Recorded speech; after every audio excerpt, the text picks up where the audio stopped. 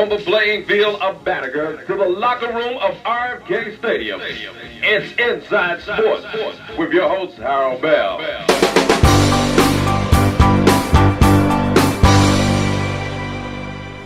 Well, Harold has been a, a crusader for the rights of black people all of his life.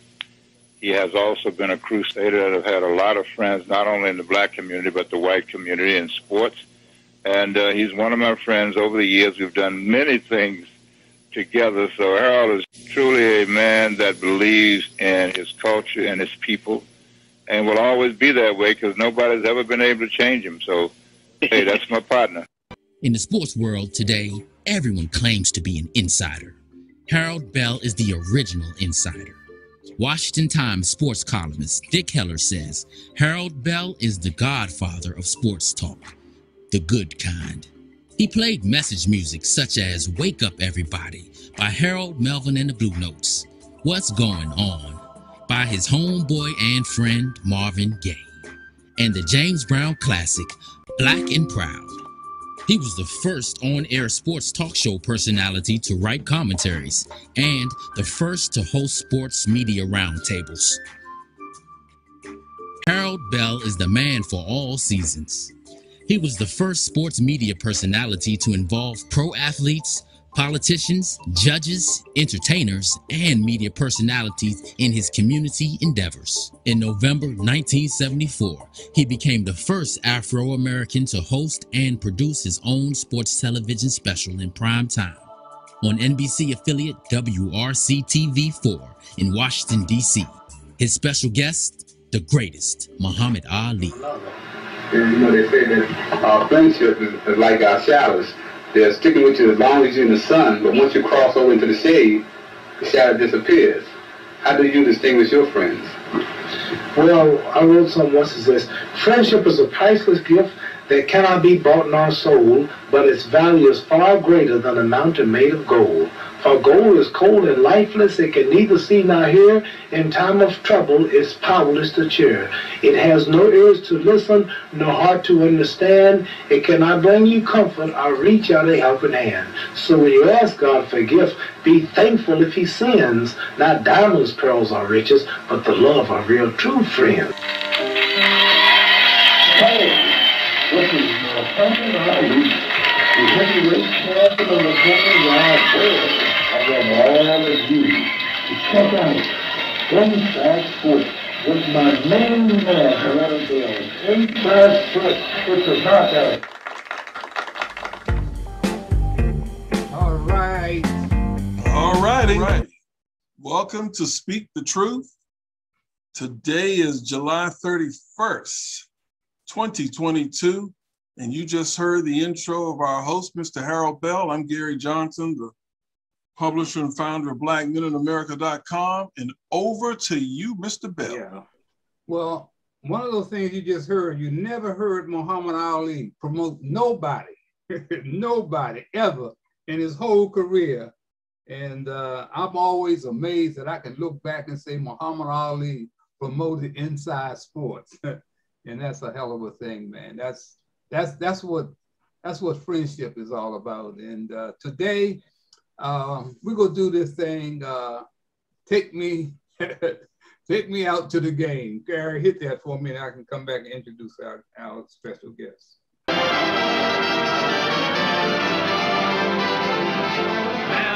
Kelly, the baseball games. Knew the players, knew all their names. You could see every day, shout hooray when they played. Her boyfriend by the name of Joe said, To Coney Isle, dear, we'll go. Then Nellie started to fret and pout. And to him I heard her shout, Hey, take me out to the ball game. Take me out with the crowd. Buy me some peanuts and cracker jack. I don't care if I never get back. Let me root, root, root for the home team. If they don't win, it's a shame. Cause it's one, two, three strikes, you're out at the old ball game. Hey, that's enough of that. That's enough All of right. that. My, my friend who's so involved with um, with young people, and uh, he's not only uh, the CEO, the manager, the coach, the jack of all trades for the RBI team of the Atlanta Braves, but he also is a former president of 100 Black men of DeKalb County. He's an account executive. Uh, they've done, I mean, great things on him about his role in the community. But uh, also, he faces a whole lot of obstacles despite uh, you know, his background. He's a former uh, baseball player himself. His son, sons have uh, played in the minor leagues. So I'm bring this all brings me back to what I had to do on Monday night. I had 50 tickets to take uh, uh, kids to a game, uh, the Baltimore Orioles in Baltimore. And I haven't done this in years, man. you know, I got I got 50 tickets. I can't turn them down. So I go to Baltimore, take these kids or those kids who came and joined in or whatever, but end up having about 30 people go to the game. And uh, it was an amazing experience, even for me again to, to sit out in that stadium, even though it was half full, to see uh, be on a beautiful night like that and have these kids at the game enjoying the game. But I found out I, I learned a terrible lesson that I couldn't buy the kids no drinks or nothing because they don't they don't take cash no more. I went up to the get some pizza, and the lady said, uh, uh, "We don't take cash. You have to go down to the ATM and put money on a on a debit card or credit card and buy, uh, you know, buy food for kids." So that that was a downer, but the kids had a great time, and uh, I just want to thank John for all that he's done, man. You know, far as our friendship goes, it goes back some years, and uh, I would like to welcome uh, the one and only uh, John. Come on in, Big John. Well, uh, first of all, as always, it's an honor to be on the show with um, Harold and the rest of you guys. Uh, as Harold knows, throughout the summer, while you haven't seen me, um, I run a sports program called ATL Metro RBI. And it stands for Atlanta Metropolitan Area Reviving Baseball in the inner city. And we target um, we target a much. Can you guys hear me? I got an echo. Uh, we uh, target we a much. Yeah, okay. We target a much older group, only because I don't have the financial resources to do as I like to. But I'm trying to move into that direction. We started 14, unless you're exceptional at 13. We started 14 and go up to 18, transition the kids into college this year we had seven kids sign scholarships. Uh, we average anywhere from four to 10 a year uh, going on to college. I've been doing this for almost 20 years. And, and uh, by the grace of God, we put over 157 kids in college. Uh, 18, now 19 with my son signing with the Padres. He recently was injured and was released, but 19 in the pros and five in the big leagues. Um, and these are kids that we've touched. But I was at a funeral on another subject, and I'll get back to this. It's about baseball. I was at a funeral and spoke this week, and the pastor, because this guy who, who passed away, Milton Reed, he coached T-ball for over 45 years. T-ball. And and if you know anything about coaching, a four and five year old attention span is really short but he brought the biblical sense in and why he wanted to coach T-ball. Because a man once said, a great man once said, it's easier to build a strong child than to rebuild a broken man. And so he stayed with the little kids. And of that group, he's had everybody that's gone through Gresham Park, that's played in the NFL, NBA, as well, Major League Baseball. They all, when others would have 12 on his team, he'd have 19. And he would tell the parents, many single mothers, he said, now we do spank them. So if you want, don't want me to spank your child, then you don't want him on my team. And he had this little glove, flimsy glove he ran around the field with, would pat him on the behind if they was out of line or running crazy. And I would say to myself, no way I could ever coach T-ball. But hearing this story was amazing. And the pastor said, you know, when my son got four years old, I got a phone call from Milton Reed. Where's my shortstop? Where's my shortstop? And he was like, What are you talking about, man? He said, he said, Isn't your son four years old now? He said, Yeah, then he should be out here with me. Why is he not out here? Well, his mama wanted him to wait. I don't want to hear that. I need him out here. He got to start learning sometime he can learn now. He said, and we get out there, and that's my first child, and my wife and I are sitting out in the stands, and he's playing shortstop, and some big kid hits it off the tee hard. It takes one hop and hits him in the chest. And it stops right there in front of him. And it makes a loud thump. So he says, I, I don't know if he heard or not, but before I could get out of the stands and, and my wife get out of the stands, Reed was right there holding. And he looked at him and he said, Great stop, young man. Great stop. And that, that made the boy smile. He held his hand up like that to his parents, like I did something good. And he said, and I realized that had I go out there, I would have said, Are you okay? Are you hurt? When Milton immediately gave him a positive reinforcement of doing something good, which made that boy go on to play college baseball later in life at Morehouse and get his degree. But he would have quit right then if I would have gone out there and said, Are you okay? Are you hurt? He said, I learned something from Coach Reed. He built those little kids up. So when Harold asked me about speaking on this subject, that weighed heavy on my mind.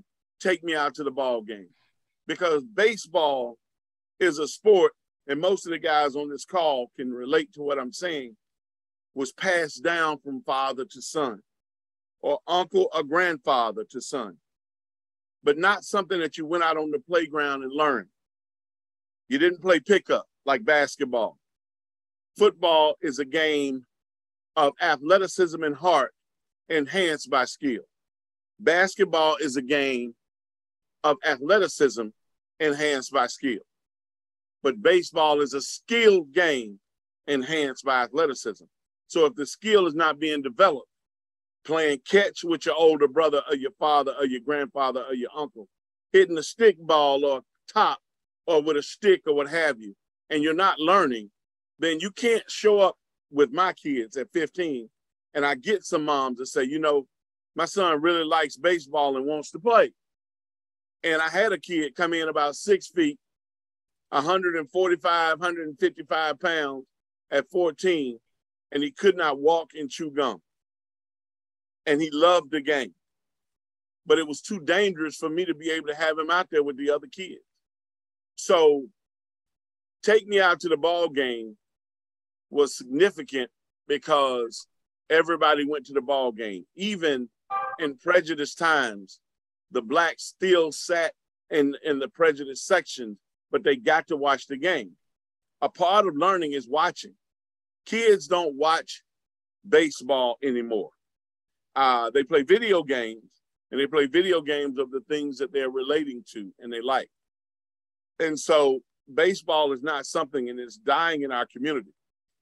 Atlanta is at an all-time high. And I wish I could take the credit for it, but it's not just me. I have GBSA, uh, Marquis Grissom, uh, Marvin Freeman, uh, myself. Uh, I can go on and on. We have about 10 to 15 Black programs, which they have different agendas. That's anybody's business, but they're at least playing baseball. And and because of that, you guys notice in the first round, four of the first round, first 10 picks were of African American descent, and they all touched Atlanta in some way. From mm-hmm. Rocker, who played at Vanderbilt, to Termarr Johnson, that went to Mays, Southwest Atlanta's high school, uh, to Andrew Jones, whose father lived here and he played in the different leagues around here, to uh, Cam Collier from Chicago, but grew up, his son grew up here in Atlanta. He did something amazing. At 16, he won the state championship. And he said, you know what? I'm going to let my son get his GED. He's going to go to junior college. So Cam is supposed to be a high school senior this year. He played junior college, hit 327 or something with about 12 home runs and 18 pick $5 million later. But out of the whole first round, Uh, I think it was about eight African Americans, the largest pool ever in the history of Major League Baseball. But that doesn't mean that blacks are playing baseball.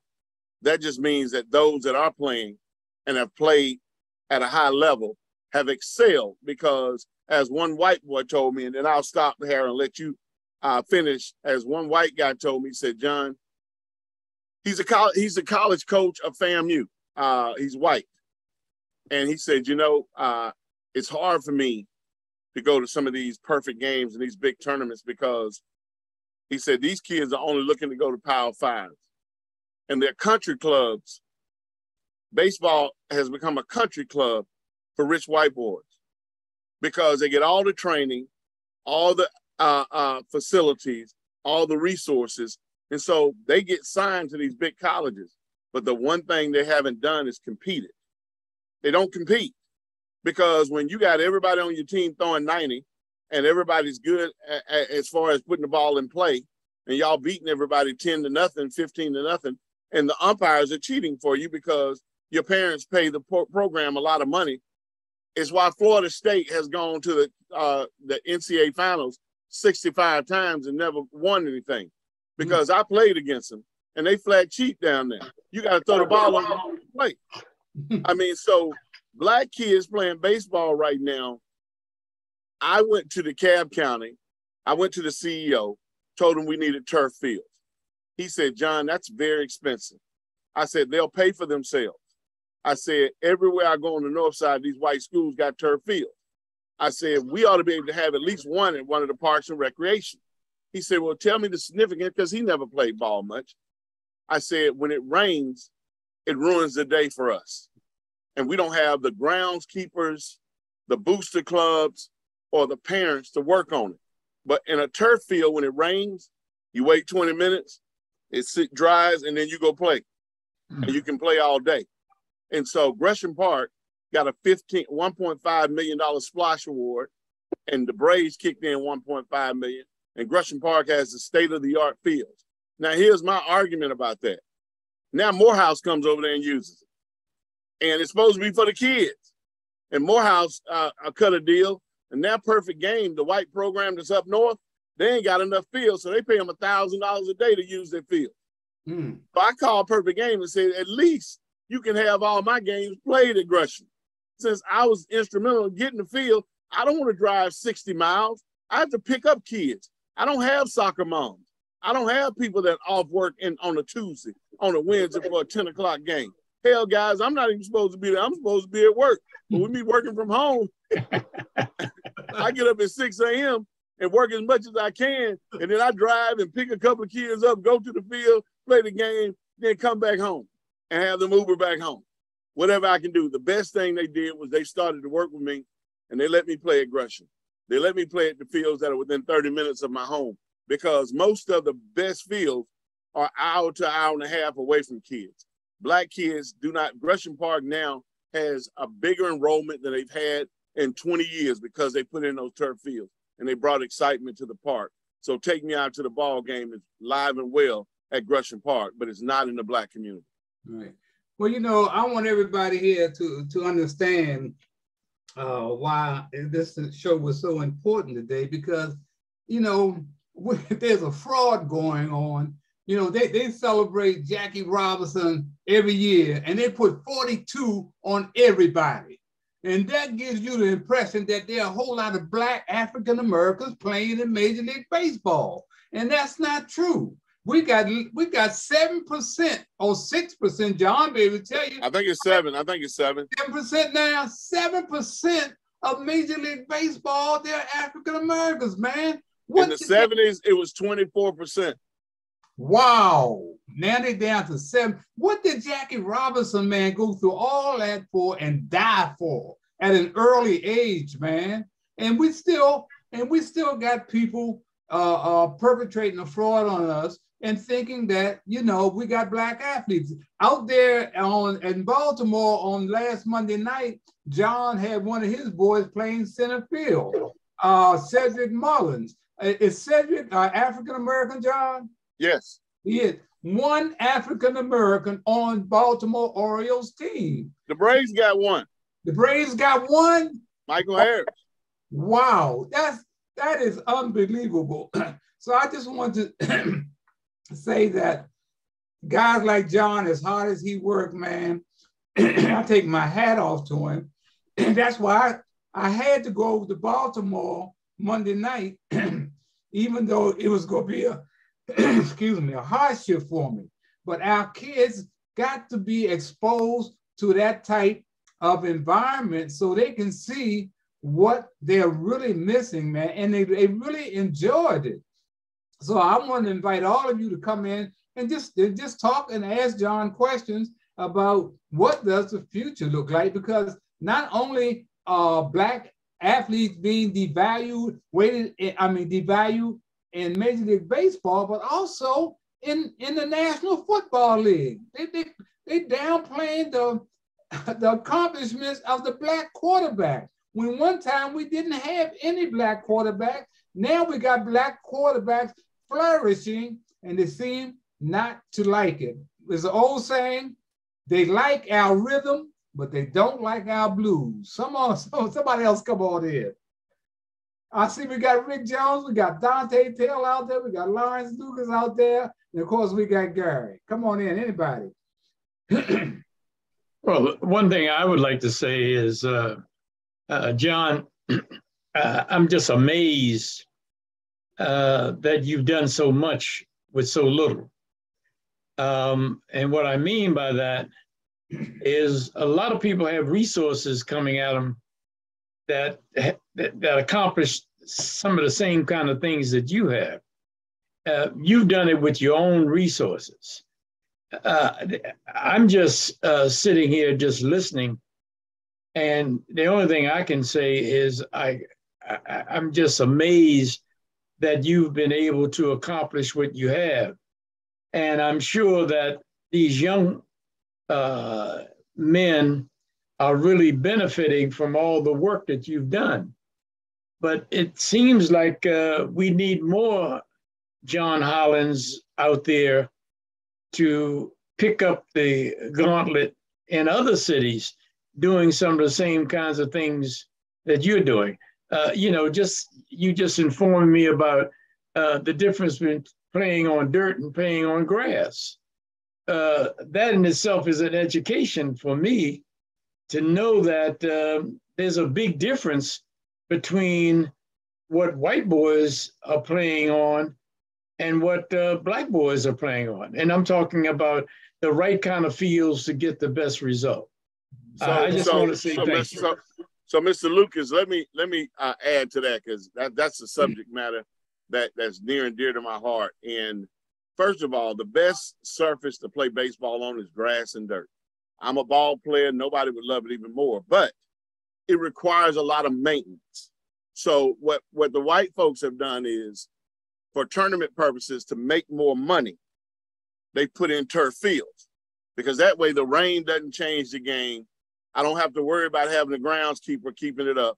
I drop some pebbles on it, which those black pebbles you put on turf I drop some pebbles on it after the game, and the mound I might have to fix up, but otherwise, you can play 10 games a day on it. You couldn't hmm. play 10 games a day on a dirt field because you're digging the dirt up. You got to bring some more dirt in. Uh, if it rains, you got some mud spots. It changes. So you got to have a real, uh, uh, what's what's the word for a specialist in, in lawn care? You got to you got to have a real person handling that. Those people that take care of those Major League Baseball fields, those guys go to college for that. Oh, those groundskeepers. Yeah. Yeah, those groundskeepers, but it's it's a it's a degree in horticulture or some I forget the name Horticulture? it. yeah, they do it, they they get it down in Florida. And then they they get hired by the different stadiums. I mean, they can make the grass grow a certain way. You ever look at it? And sometimes it looked like the grass going that way one way and it's going that way. yeah. These guys are awesome. I mm-hmm. had the pleasure 15 years ago to go out to the Brave Stadium and work with the groundskeeper on how to better keep our mounds up. Mm-hmm. he taught me a lot of stuff and what we could do in the batter's box and everything. But then he started going into some details and some stuff that he does. And I'm like, no matter, no wonder why these fields look like they look. You know what I'm saying? I mean, these guys are awesome, which would be a great area for some of our brothers to go into. One of the things Harold knows about that I didn't share with you guys, uh, Tyrone Brooks uh, runs a minority um, development arm of Major League Baseball. Uh, doing he, doing his transition from being a Brave Scout to a Pirate Scout to going into Major League's front office, you know, I talked about, you know, nobody's recruiting SIAC ball players. Um, so my son had scholarships to Albany, Morehouse, and he said, Dad, man, you can't go pro going there. I said, Yeah, but you can get a great education. He said, Yeah, but I want to do both. He said, Why can't you do both? You can do both in a lot of places, but not there. So I said, Okay, well, let's do some research on the last 10 years. And we looked at the last 10 years out of 16 teams, not one kid got a chance to play pro. Hmm.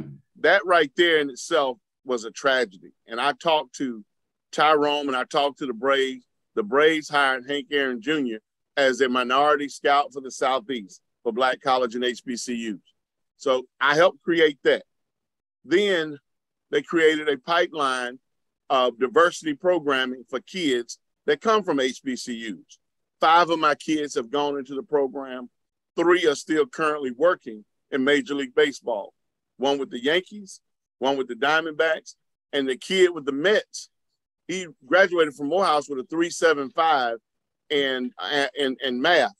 So I got him a scholarship to Princeton, and he t- chose the job with the Mets. I said, I said, Jason, you can go to Princeton for free. He said, Yeah, but the Mets gonna hire me, so I think I want to try to go with the Mets. So he went with the Mets and did a great job with the New York Mets. And um, they said, Hey, we want to hire you and keep you on. All these are interns. We want to keep you on. What is it that you like to do? And he said, Besides being on the field, I like to be around the game. So they said, as a scout, so they so they flew him down to Florida, Sarasota, I think it was where they were located at the time, the Mets. And the coach called up and said, Man, this kid is special. We like him. So they said, We're gonna send you to scouting school. So I didn't even know such a thing. They sent him to scouting school for four months and they made him a pro scout, not an amateur scout, which I didn't know the difference in that. I'm learning so much through him. So he only scout pro teams that they're looking to make trades with down the road. So he has one organization. His organization is the Nationals. And so it's like an espionage job, guys. So he tells me, you know, we're looking at this player, that player. So they gave me an expense account. I got to go to the strip club and I'm just to hang out like I'm one of the guys just in the club because they want to know how these guys act. And we're going to give him a hundred million. What kind of brother is he really? Uh, uh, it was a Hispanic guy he was going after. He go to dinner. They don't know he's a scout. They, he's just a young black guy. He's only 26, 27 years old right now. He did such a good job. They made some moves and took some of the national players, and it helped uh, their program. Uh, he's with the uh, Mets, and now their minor league system and their team's number one. That he got promoted up to second in command of the head guy of the Mets. Now Harold's cousin has been with the Mets for 30 years and been doing the same job the whole time because he, he is I'll let Harold speak about it. Yeah. But Jason has learned, and we being brothers on this call, understand what I'm saying. Jason has learned the internal politics without changing who you are, by still maintaining your integrity and being honest and truthful about what you believe, but understanding you still work for somebody. So don't be so opinionated that you tell them that their baby's ugly. You know what I'm saying? And he's doing a great job of that.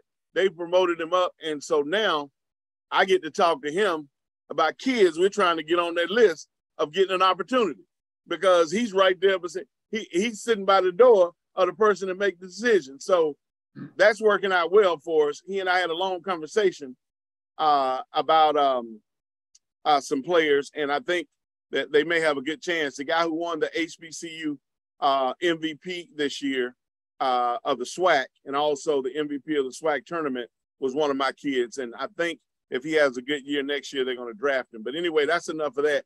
But that tells you about the fields. The mm-hmm. dirt field is still the best, but the turf fields allow you to play more. It gives you less bad hops. It allows you to train better.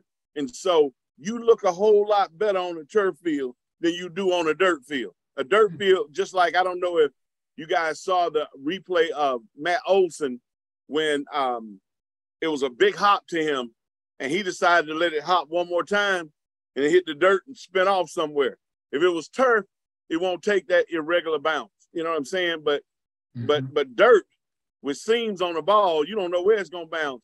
So that's why you teach kids to come get it, come get it. Don't sit back on it because it could take it could hit one of them divots that somebody then ran through and jump up and hit you in the mouth. So on turf fields, you don't have that issue as much because it's gonna take more true hops. So kids ah. look better than they really are. And then when they get in, drafted and go into minor leagues, they go like, man, we done wasted money on another kid. He can't catch. So that's why they love those kids from the islands because they play on dirt. They play on rocks. Actually, I still got some of the rocks when I went to Curacao with Ozzie Albies, and he said, I'm gonna take y'all up to my field, the second baseman for the Braves. So he took us up to the field, and the kids I had were looking at the field like, How you gonna play on this? He said, You come get everything or you lose all your teeth. hey Dante, I want to bring in Dante. Dante is the founder of uh, Cyber Hygiene and Security Solutions. Uh, Dante jumped off. He, he gone. Oh. Yeah, we got we got Mr. Rick Jones here. Oh, Rick, how you doing, Rick? Come on, introduce yourself, Rick. This is my my dear friend Rick Jones, uh, who's been doing wonders with young people for over decades. Uh, Rick, give me a little background on you, and thank you for uh, taking time out finally to be here. Earl, I miss you. um, a little more than a decade, more like 35, 40 years. Uh, I've been working with youth at risk and I teach aviation uh, careers to young people. Uh, we start them off at our camp. And one of the things I want to ask John, are you getting any any help from, we will say, parks and planning? Do you have a parks and planning down in Atlanta? You talk about playing on fields that, God Almighty, I don't even know how you were able to do it. Are you getting any funding or resources? That should be a given for a hmm. program as great as yours. You ought to have folk that are already providing decent fields.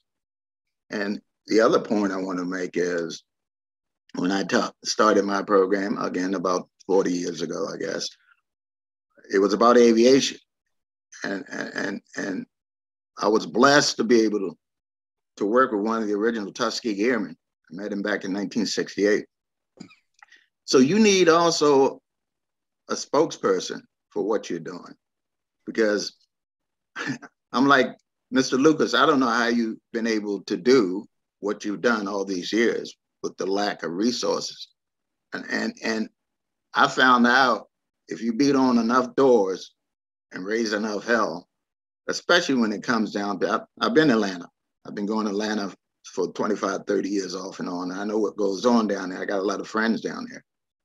But I can't imagine you having to put up with that, just the basic stuff, without getting some resources from the local folk. Okay? Well, let me tell you, Mr. Jones, let me tell you where my dilemma falls uh, my dilemma falls in the mirror with me because I actually spend time on the field with the kids. I actually drive buses. I actually throw BP. I actually I'm a part of it. So because of that, my my I say my competition. I have no competition because my goal is to help kids. So I'm not competing against other black programs. But there's a guy by the name of CJ Stewart. CJ Stewart, instead of training kids how to play, uh, and I'm just being honest, and, and I, I, hope not to be too critical, uh, but I'm just being honest.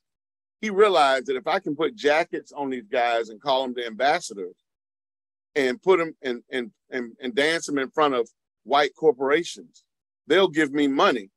Now the program is called Lead, and it's about baseball. But I took a 13 year old team to go over and play a 17 year old team, and we beat them eight to one. And he said, John, you know, we just use baseball as a chance to get them in the program. But we teaching them uh, uh, uh, learning skills, academic skills, things of that nature. And I said, that's great. But with the kind of money that you're raising, CJ raises close to a million dollars. He got 18 kids. He lives in a half a million dollar house. His wife is on the program. His kids go to Howard now. This is the only job that he has. He has two kids in Howard. Um, and I don't know the man's personal business. I know he has a private practice where he used to give lessons to professional athletes, but many of them have have decided not to use him anymore. So I'm sure he gets others, and, it, and it's reciprocal, and he's making money doing that too. But uh, he's giving hitting lessons to Jason Heyward and uh, Dexter Fowler, and they both fired him.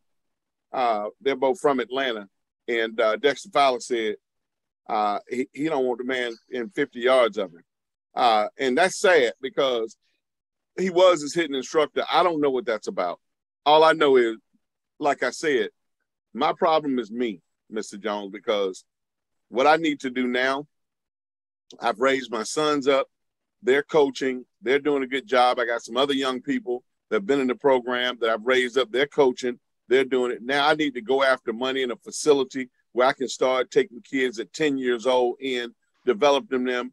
I have a couple of white guys that played for me that they're helping me with the uh, financial part. They both graduated Georgia Tech uh, uh, cum laude, uh, and they played in the program. Uh, they weren't kids in trouble, but I had a combined uh, diversity program. The reason why is because my kids went to private schools, so I used to have the facility of the private school, and then once the pandemic hit, they they wouldn't let us use it anymore, and so I went to start borrowing fields from different uh, organizations. But back to your issue, that is my number one goal this year is to raise money so we can build a facility to have training facilities academically and athletically for these kids because as I share with them, I threw 91 miles an hour when you never heard of me.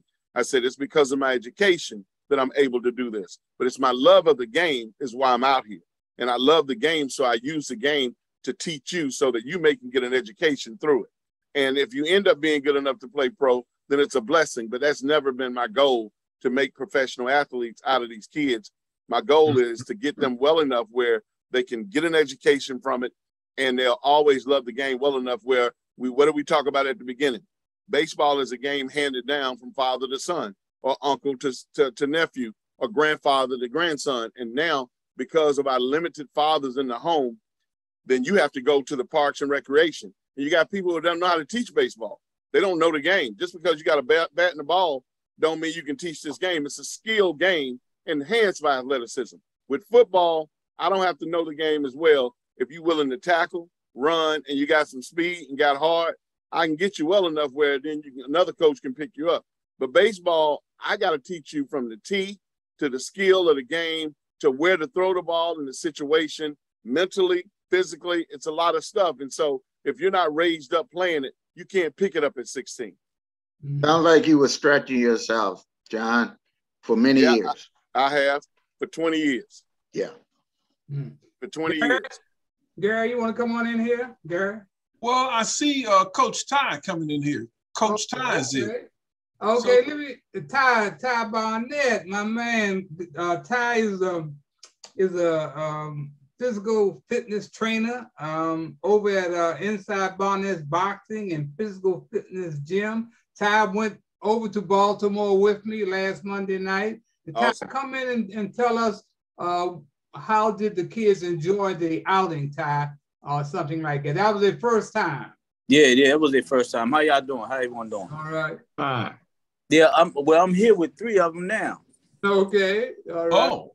Three of them right now. Three of the ones but yeah, my daughter, granddaughter, and the friend of hers, we all here right now. I was just, I'm, I'm late. I'm sorry I came in late, but I was sitting there eating and talking, running my mouth a little bit, you know. So, but yeah, um, everybody enjoyed it. They still talking about it to today, how much fun they had. So it was a good outing. Yeah, it was good, and everything. The weather was nice, real nice.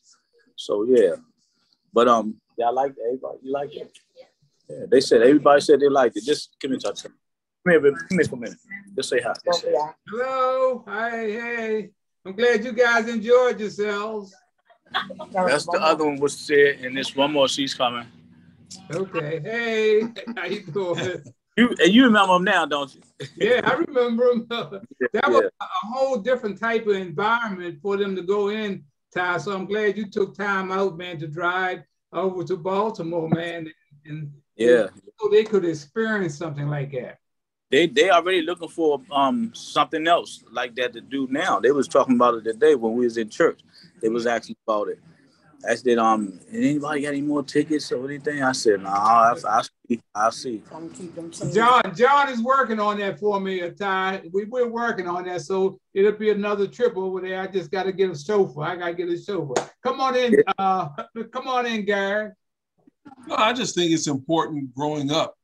Uh, look at the programs that I've been involved in that the young people, young kids, boys and girls be exposed to uh, these programs. Many of them don't have uh, the the uh, resources, but man, these coaches and people like John, you don't know how many times something that you do or say has touched a kid, and they can remember it, and then they pass it on. It, it, it really is valuable. Um, the, you, you just can't put a price tag on how much that can do for a young person. And I looked at the picture, uh, Mr. Bell, that you sent and hopefully you could see it when I pulled it up with the kids, the mm-hmm. bright faces at the ball game, and and then Coach Ty talked about the saw the young ladies there how they really enjoyed it. Mm-hmm. Mr. Well, believe it or not, believe it or not, Gary, um, you know, I had the opportunity to realize what an impact it was in a strange way, and I'll try to make this story quick you know, I told you guys I, I coached at a private school, uh, and they let me use their facility in the summertime for the inner city kids to be able to play on. And so I always had a field by using that, and I didn't. And because I never tried to make any money out of it, Rick, it didn't matter to me that I wasn't making any money. I had a field, had a cage, had everything I needed. They kept the field up. Well, anyway, uh, I think it was 9 11, around 9 11. Uh, financially, I went bankrupt. And uh, uh, when I say went bankrupt, I didn't file bankruptcy, but uh, my company, uh, I had a partnership with a company and we had to close the doors. And so I was headed to the school at the private school that I, my kids went to. And I ran across one of the kids that, that I coached who, who dad was a millionaire, but he wanted them to play with us because he didn't grow up a millionaire. He grew up in the city streets of New York. And he said, I want him to be able to play with you. I don't want to play in that country club up there. I want to play here with you. And so, are you still got So he played with me, and um, ten years later, or maybe twenty years later, uh, well, well, fast forward. I'm sorry. Uh, I went to let them know I couldn't afford to pay for school anymore, and he told me, says I give the school hundred thousand dollars a year as as an endowment. He says, so I'm gonna tell them to make your two kids the recipients of some of that money, wow. so you your kids can keep going. And I said, uh-huh. Steve, you know, my pride got in the way, guys. I uh-huh. said, Steve, you don't have to do that, man. He said, No, I do. He said, You don't know what you're doing out there coaching, man. And I'm thinking, like, I'm just coaching some middle school kids. Like, you know, what am I doing to myself? He says, What you're doing is invaluable. And and and since I'm gonna give my company's gonna give them the money anyway, I'm gonna deem. I said, okay, well, give me two years and I'll be back on my feet. He said, it take now first I said a year. He said, man, it take anybody at least two to three years to, to get things going again. I said, okay, too.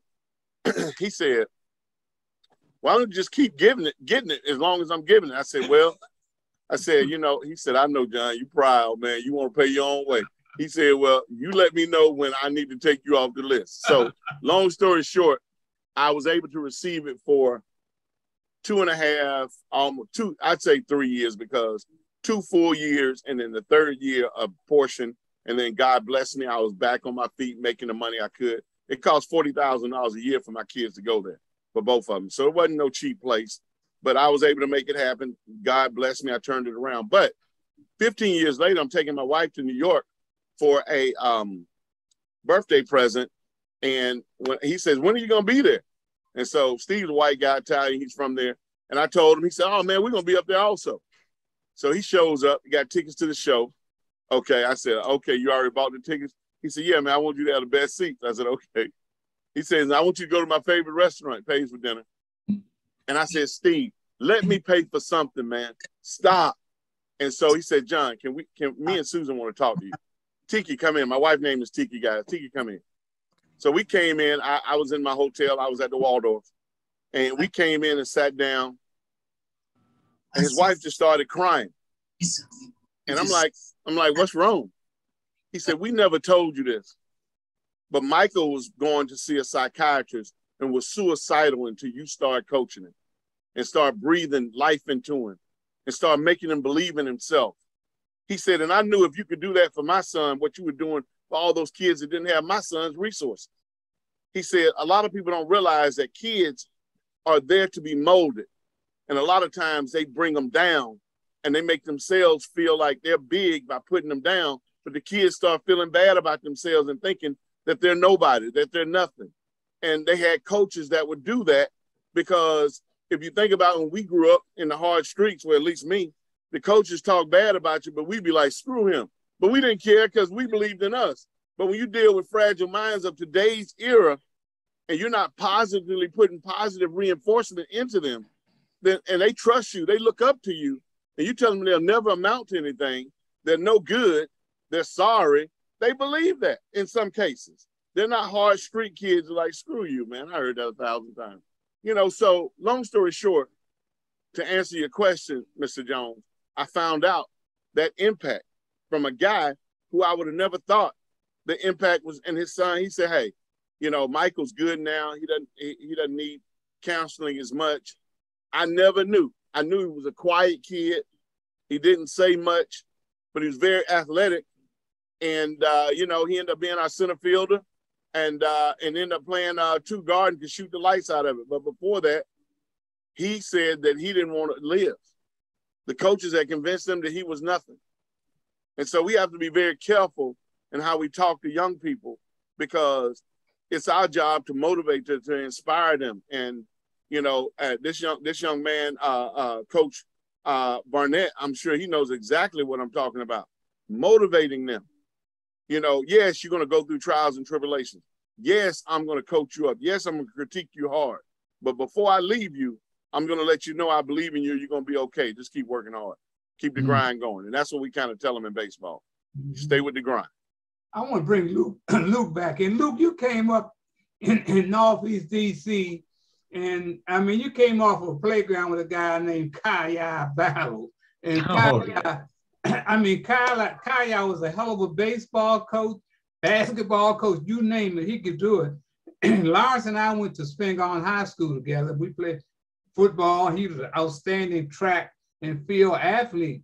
What was that like growing up on that playground? You know, you looking and hearing what John say. How was Kaya? How did he inspire you guys, uh, uh, Luke?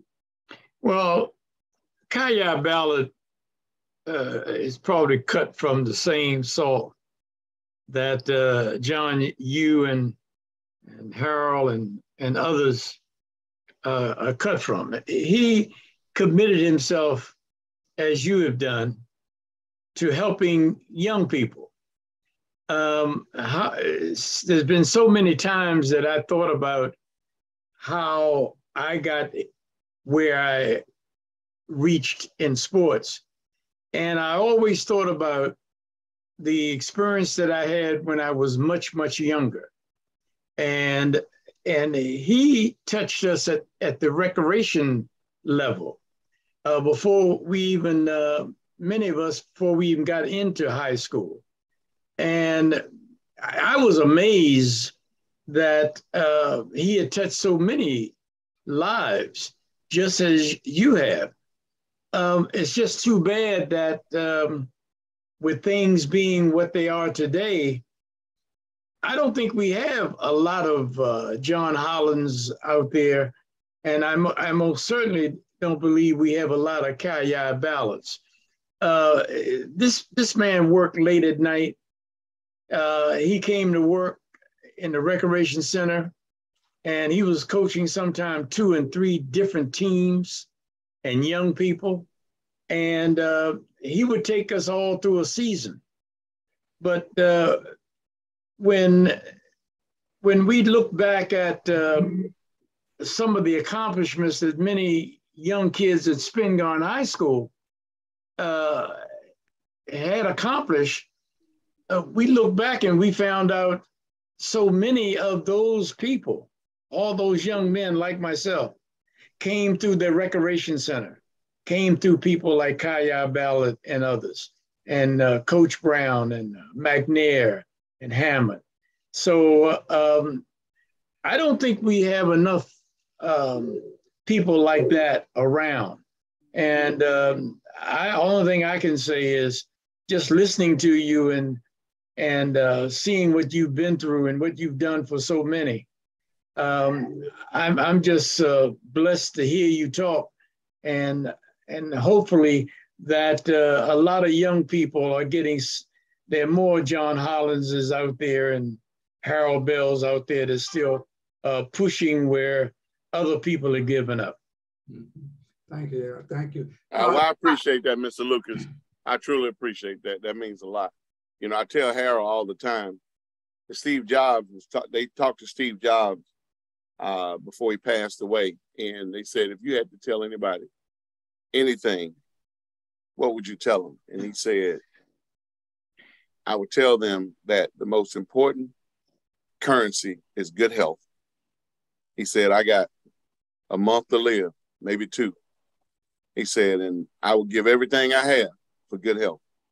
He said, and I would tell them to try to love somebody every day.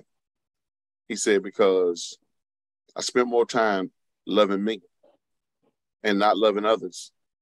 And now I don't have time to love them back. And he died two weeks later. He thought he had a month, but he only had two weeks.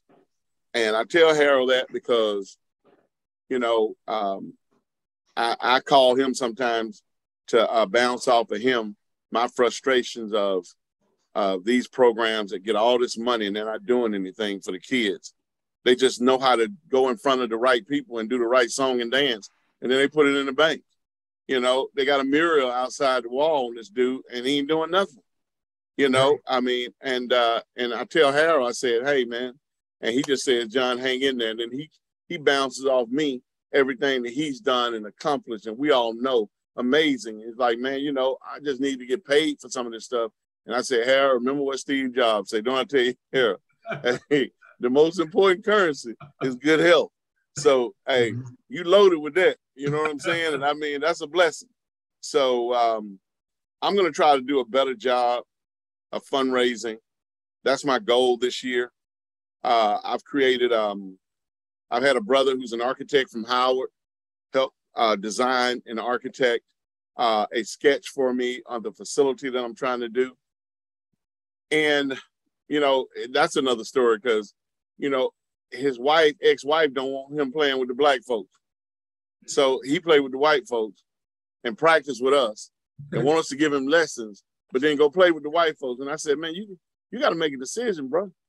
I mean, you know, if if you think that that that, that they milk colder, then drink that milk. I mean, but it, it it's not fair for me to take time out to work with your kid and then he's going to be on the other team facing us. I said, I'm trying to develop kids that that need the help, that want the help, and that's going to help this group. I said, you know, he said, well, it's my ex-wife, man. She don't, she she trying, she the last thing she wanted to do is be around in the city. And then that being the case, you know, us being divorced and me getting remarried, it's another thing, man. But that's another story in itself. But my point is, I got to do a better job. You know, as I tell the kids, accountability is the one thing that is consistent among the kids that I've coached. And I have to hold my own self accountable. If I want to get more, then I have to work hard at getting more. And I have to trust God's word. You know what they say when you start planning, God laughs because he has other plans. And so I'm now listening to him and to follow those plans. And just the other day, a friend of mine gave me tickets to the uh, Atlanta Open. It's like the U.S. Open only in Atlanta. And I wasn't going. I got them for Bert, who was on this show before. Bert's a 74 year old uh, ex scout coach that helps my kids. He's taking a full time job to move back to California to coach a junior college, believe it or not. And he's excited like a 30 year old kid because he loves the game. And so for he's a he's a, a big tennis player too. So for a gift, I got him these sweet tickets from the Truist Bank. He's sitting right up front, all the food, all the drinks, and everything. And he calls me and says, Man, I've been packing boxes. He said, I'm so tired. I don't know if I can make it down there. Can you go with me? This is where God comes in. So I go with him. The guy who's hosting the suite just got the promotion and is trying to help nonprofits get more money to help kids with kids programs. Mm-hmm. And God put me right there with him. I'd have never met this dude if he wouldn't have gone because I wasn't going. And so I went because I didn't want to waste the tickets. You know, at $500 piece tickets, I didn't want to waste them, even though for a corporation, they don't care. But for me, if you give me something, I want to respect enough to show up. So I just wanted to at least show up. And, and now we have a meeting set up to move towards trying to figure out how we can finance this thing. Shaquille O'Neal came to my coach's wife's school to tell her he wants her to be the principal or the headmaster of his academy he wants to build. Well, I want an academy in this program. So mm-hmm. now I'm setting up a meeting trying to get to him through her so we can say, hey, we might can do this. So God's plan is different from your plan. I thought it was about baseball and developing kids starting at a young age, but it's really about developing young men and young women uh, to be better citizens, to be able to utilize the resources that are here in America so that they can better their communities. And if baseball is a sport that they play, then fine. But no matter how good you are, you're not going to play forever. And so right. getting them in the right position, trying to partner with Apple and Microsoft to do coding, uh, to do software development, to learn those skill sets so that there are scholarship opportunities out there for kids of color. You know, with the 100 Black Men, we have seven scholarships for Drake University Law School. If you graduate with a 3-2 or better and make a 152 on the LSAT, then we can give you a full ride if you're in our program. But we've given to kids that look like us that wasn't in the program, but we want to make sure the seven didn't go away. So if you know a young brother, they want a young brother because it seems like every time we say we got somebody, it's a young sister. Not that they don't want young sisters. They're still offering, but they're like, can y'all find me some young black men? And and we are the 100 black men of America, you know, 10,000 members strong, 100 chapters, and we can't find seven to mm-hmm. meet that mm-hmm. criteria. Wow. To give them a free law education. I think there's a medical school in Tennessee called Meriwether. Meharry. Meharry. Meharry. We got eight. We got eight of those, and we sent eight girls for the last four years, and they said no more girls. we need boys. Do you have mm-hmm. any boys? And we can't find any to meet the criteria academically. Okay. We getting out of college by the skin of our teeth. Right. You know what I'm saying? Yeah. You got to have a three, two. You got to have a three, and you got to study. You know, you got to do those. So, where does that start? It starts with the youth. So that's why we have an academic program and our baseball program where we study we study the um, SAT. We focus on the the standardized testing because those are barriers that keep us out. White people will tell you that the SAT is not structured because the questions are sometimes fundamentally different from the questions that we get asked when we're in school through the systems that we work live in. They're different. So so we don't necessarily how you ask the question. It's not necessarily the answer or the question, but how you ask the question. And if you ask it a certain way, it's not comprehensible in the time needed as it would be for somebody else who, who that's the way they speak to each other. So the ACT has been more favorable for young men of color. So we push them to take the ACT. And, uh, you know, down south, they push the SAT. But because I have this information, Princeton even has a review that you can do the Princeton review and study the SAT. And we were doing that, and they were giving you the test too. But now you can't get the test unless you pay them money, but you can't practice. You know, it's just a lot of barriers out there that, you know, you only know what you know. And then once you start learning these things and you give it to these young people, our young people are amazingly smart. I mean, amazingly smart, so much more smarter than I was when I was that age. But they're smart in areas that have nothing to do with them getting past these barriers that they got. You know what I mean? you know, they're learning stuff that's not going to help them financially.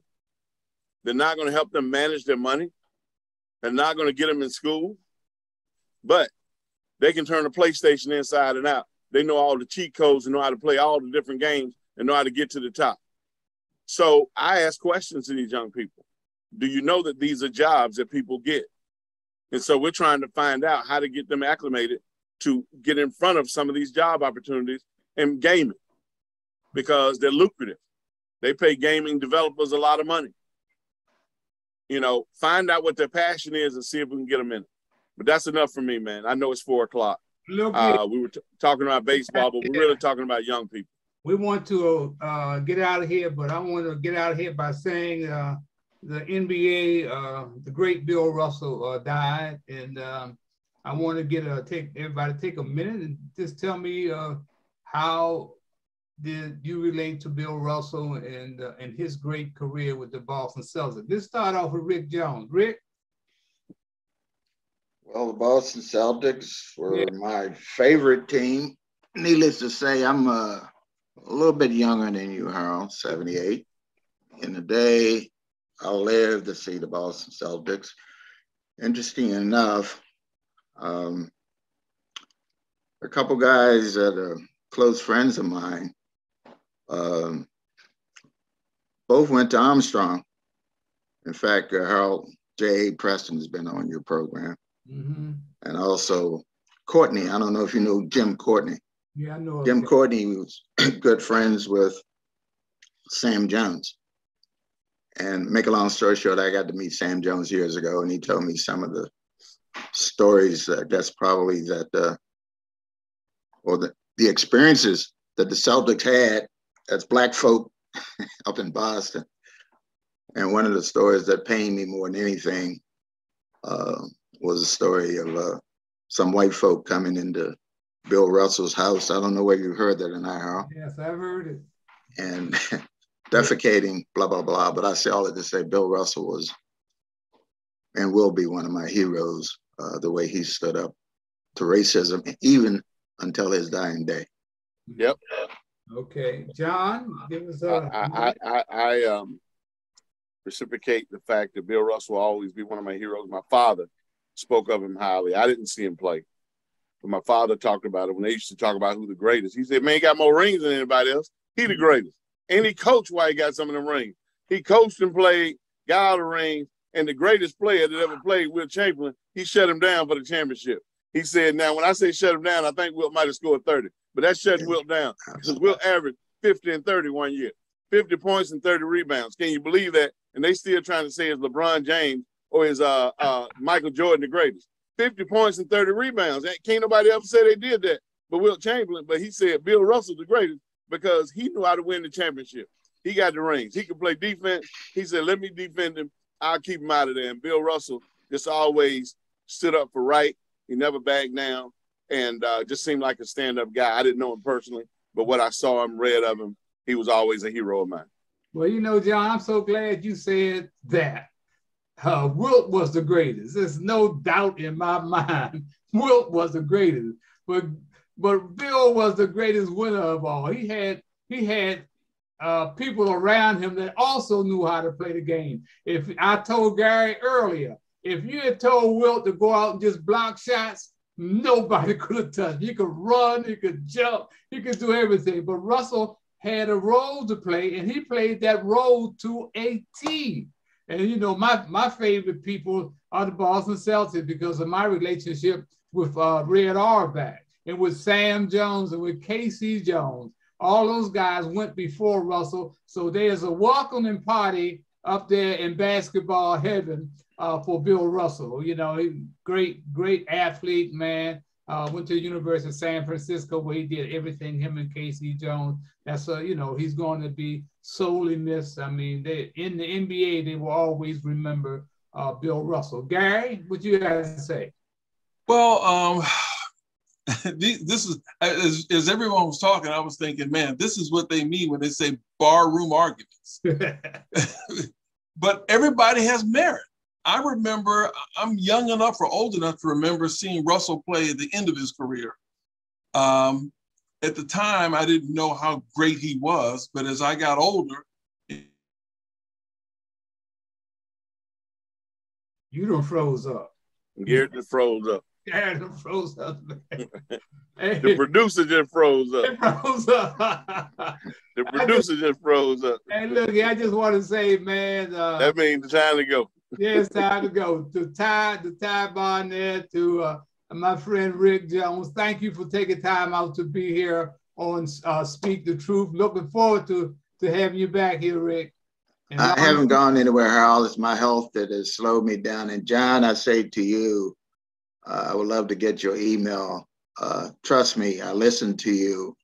And uh, as I said, I've been dealing with kids for over 40 years, basically. And some of the concerns you have, trust me, I've, I've had, and Harold probably even more so. So mm-hmm. we're right there with you, but I love to have your email, man. And you never know again. I'll email you. How we can communicate. And one of the things that I love about what Harold does is bring people together, especially people of like minds. And I told Harold, I had, of course, known about Harold years ago, but we had a disconnect because we were on different paths, but we met again maybe 10 or 12 years ago one of the things I told him is anybody that's interested in kids, I'm interested in, and anything I can do from my lowly statue, okay, I will do. So I'd love to have your email and we can communicate. Hey, hold on, hold on. What's, what's your phone number? 301. John, I'll give it to him. He got no, it. No, I got it right now. Oh I'm, I'm putting it in 301 775 4386. Okay. I'll text you my, is that your cell? Yes. Okay, I'll text you my email. That's the deal. Okay, guys, that's going to be it uh, for this. Thank you, Harold. All right, you're welcome. And just remember, like I said, they they like our rhythm, but they don't like our blues. And remember, you cannot soar with eagles if you're going to hang out with chickens. Until next time, I'm Harold Bell, and you can color me gone. So long. Bye bye. How do I? say goodbye to what